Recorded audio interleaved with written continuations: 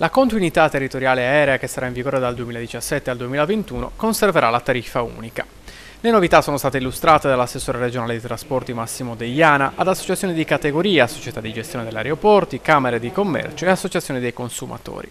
Gli aspetti principali della prossima continuità aerea in vigore dal 2017, oltre alla tariffa unica, riguarda anche i posti a disposizione nei collegamenti tra i tre scali sardi e quelli di Roma e Milano con un numero variabile a seconda del giorno della settimana, di più nel weekend e meno nelle date centrali come il mercoledì. Cade invece la differenziazione per fascia oraria. Un progetto da quasi 67 milioni di euro, dei quali 30 stanziati dal governo nazionale. Un passaggio ordinario con i portatori di interesse per le ipotesi di intervento riguardanti le linee guida approvate a fine giugno, ha spiegato Deiana.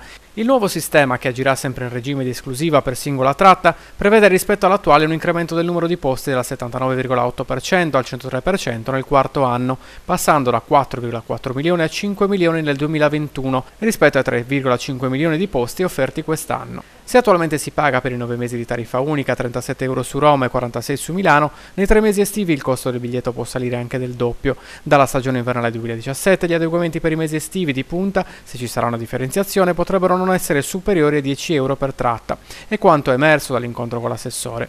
Una volta terminata la fase di audizioni con i sindacati, entro dicembre il nuovo schema arriverà in giunta per l'approvazione definitiva. Poi il passaggio in consiglio e quindi con la conferenza dei servizi si aprirà il percorso del decreto ministeriale.